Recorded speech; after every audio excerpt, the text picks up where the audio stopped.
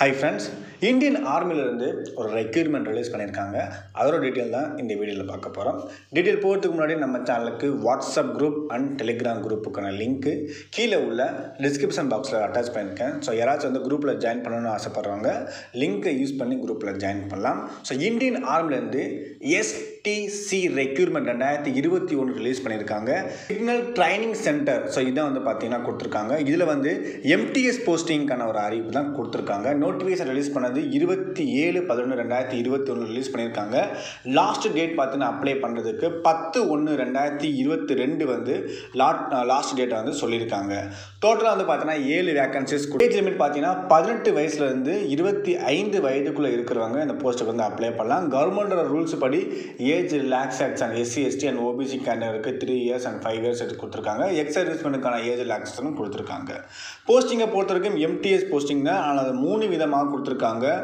சவுக்கிடர் gardener and messenger போஸ்டிங்க்கான ஒரு அறிவிப்பு தான் கொடுத்துருக்காங்க. ஸோ சௌக்கியருக்கு பார்த்தீங்கன்னா ஒரு வேக்கன்சி ஜென்ரலுக்கு கொடுத்துருக்காங்க. கார்டனர் வந்து பார்த்தீங்கன்னா ஜென்ரலுக்கு ரெண்டும் ஓபிசிக்கு ஒன்று கொடுத்துருக்காங்க.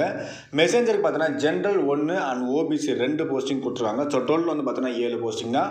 இதற்கான குவாலிஃபிகேஷனை பொறுத்த வரைக்கும் டென்த்து பாஸ் பண்ணியிருந்தால் போதும். அது மட்டும் இல்லாமல் ஒன் இயர் வந்து பார்த்தீங்கன்னா எக்ஸ்பீரியன்ஸ் இருக்கிற கேண்டிடேட் வந்து இந்த போஸ்ட்டுக்கு வந்து அப்ளை பண்ணலாம் அப்படின்னு சொல்லியிருக்காங்க. செலெக்ஷன் ப்ராசஸ் பொறுத்த வரைக்கும் ரிட்டன் எக்ஸாம்ஸ் நூற்றி ஐம்பது மார்க் இருக்கும். Skill test and trade test document verification and medical examination இருக்கும் அப்படின்னு சொல்லியிருக்காங்க. எக்ஸாம் பேட்டர்னை பொறுத்த வரைக்கும் ரெண்டு மணி நேரம் எக்ஸாம் நடக்கும். Objective type and multiple choice கொஸ்டினாக தான் இருக்கும்.